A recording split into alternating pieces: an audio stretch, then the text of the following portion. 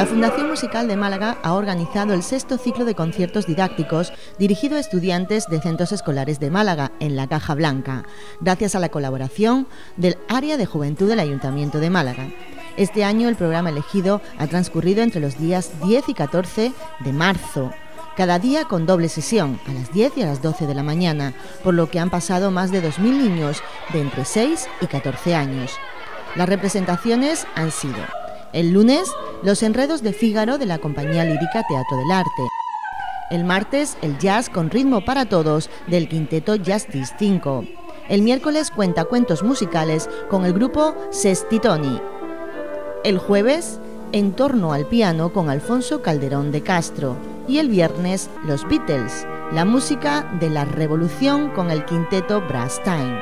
Aprender jugando es la intención que persigue la Fundación Musical de Málaga, que realiza este ciclo por sexto año consecutivo y pretende mantenerlo, dado el elevado número de colegios que se apuntan cada año.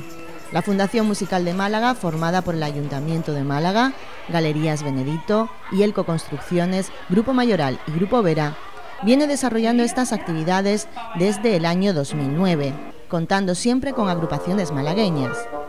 Desde el inicio de esta actividad, en 2009, más de 10.000 escolares malagueños han pasado ya por estos conciertos, que tienen como objetivo profundizar en la educación musical, ofreciéndoles espectáculos pensados especialmente para ellos, convirtiéndolos a la vez en público y parte activa de la actuación.